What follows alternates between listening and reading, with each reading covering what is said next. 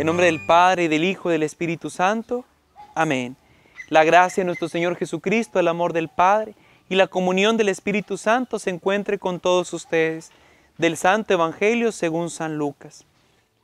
En aquel tiempo Jesús dijo a sus discípulos, fíjense en esto, si un padre de familia supiera a qué hora va a venir el ladrón, estaría vigilando y no dejaría que se le metiera por un boquete en su casa.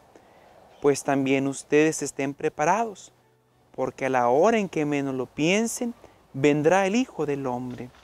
Entonces Pedro le preguntó a Jesús, ¿dices esta parábola solo por nosotros o por todos?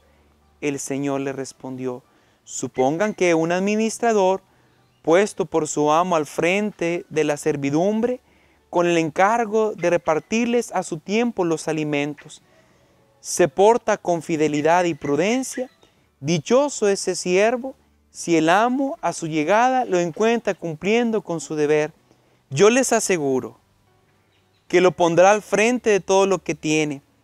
Pero si ese siervo piensa, mi amo tardará en llegar, y empieza a maltratar a los otros siervos y siervas, a comer, a beber y a embriagarse el día menos pensado, y a la hora más inesperada, llegará su amo y lo castigará severamente y le hará correr la misma suerte de los desleales.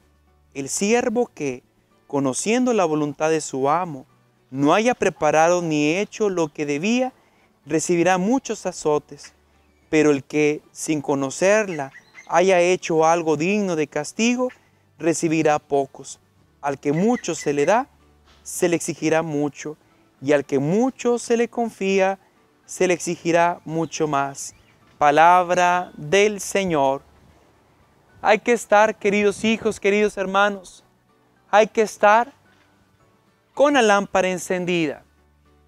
En el momento en que menos lo pensemos, el Señor nos quiere ver con un corazón con nuestra alma siempre esperando. Hay que estar como los centinelas, siempre estar vigilando, siempre estar al pendiente. Qué fácil es para aquel hombre que constantemente buscamos prepararnos, estar frente a Dios. Va a haber un día en que Dios nos va a pedir cuenta de nuestras acciones. Va a haber un momento en que el Señor nos va a decir, nos va a pedir cuenta de lo que pudimos ser, de lo que pudimos entregar, desde nuestra oración, desde la vida sacramental, desde la caridad, desde el amor hacia Dios.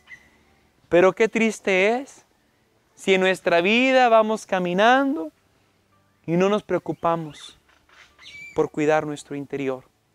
Nos preocupamos por mantenernos en forma, nos preocupamos por muchas cosas en la vida, qué vamos a comprar, ah, viene el tiempo el tiempo de la Navidad, qué regalos vamos a necesitar para los hijos.